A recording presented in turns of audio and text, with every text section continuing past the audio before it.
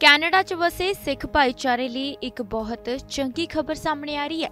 Canada ਦੇ province Ontario ਵਿੱਚ Ontario Khalsa Darbar Gurdwara, Dixie Road Gurdwara Sahib ਵਿਖੇ Kiratpur park ਦਾ ਉਦਘਾਟਨ ਕੀਤਾ ਗਿਆ।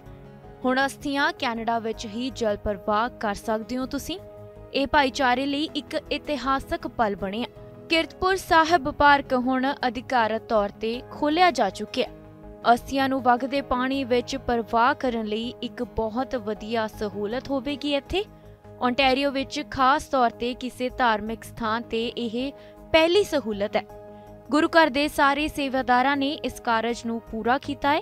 ਇਸ ਮੌਕੇ ਫੈਡਰਲ, ਸੁਬਾਈ, ਸਿਟੀ ਅਤੇ ਰਾਜਨੀਤਿਕ ਧਾਰਮਿਕ ਲੀਡਰ ਵੀ ਸ਼ਾਮਲ ਹੋਏ। ਇਸ ਮੌਕੇ ਗੁਰੂ ਘਰ ਦੀ ਪ੍ਰਬੰਧਕੀ ਕਮੇਟੀ ਨੇ ਸਮੂਹ ਸੰਗਤ ਦੇ ਸਹਿਯੋਗੀਆਂ ਦਾ ਧੰਨਵਾਦ ਵੀ ਕੀਤਾ।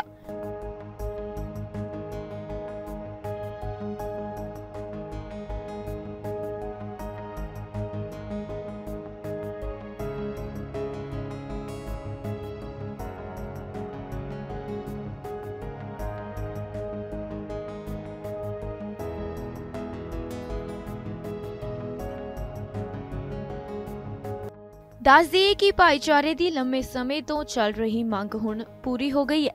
ਇਸ ਕਿਰਤਪੁਰ ਪਾਰਕ ਵਿਖੇ ਬਿਨਾਂ ਕਿਸੇ ਰੋਕ-ਟੋਕ ਤੋਂ ਅਤੇ ਆਪਣੀਆਂ ਧਾਰਮਿਕ ਰਹੁ ਰੀਤਾਂ ਅਨੁਸਾਰ ਆਪਣੇ ਪਿਆਰਿਆਂ ਦੀਆਂ ਅਸਥੀਆਂ ਜਲ ਪ੍ਰਵਾਹ ਕੀਤੀਆਂ ਜਾ ਸਕਣਗੀਆਂ। ਪੂਰੇ ਨਾਰਥ ਅਮਰੀਕਾ ਦੇ ਭਾਰਤੀ ਇੱਥੇ ਵਿਛੜਿਆਂ ਦੀਆਂ ਅਸਥੀਆਂ ਫੁੱਲ ਜਲ ਪ੍ਰਵਾਹ ਕਰ ਸਕਣਗੇ।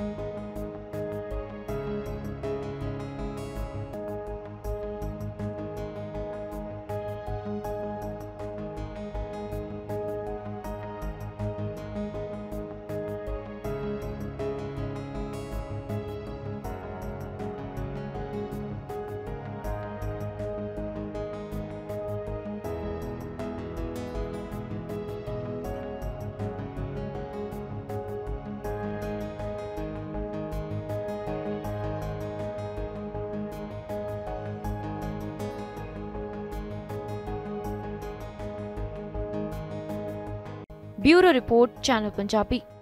ਸਾਡਾ ਹਰ ਇੱਕ ਪ੍ਰੋਗਰਾਮ ਦੇਖਣ ਤੇ ਸਾਡੇ ਨਾਲ ਜੁੜਨ ਲਈ ਸਬਸਕ੍ਰਾਈਬ ਕਰੋ। ਚੈਨਲ ਪੰਜਾਬੀ ਤੇ ਨੋਟੀਫਿਕੇਸ਼ਨ ਲਈ ਬੈਲ ਆਈਕਨ ਵਾਲੇ ਬਟਨ ਤੇ ਕਲਿੱਕ ਕਰੋ।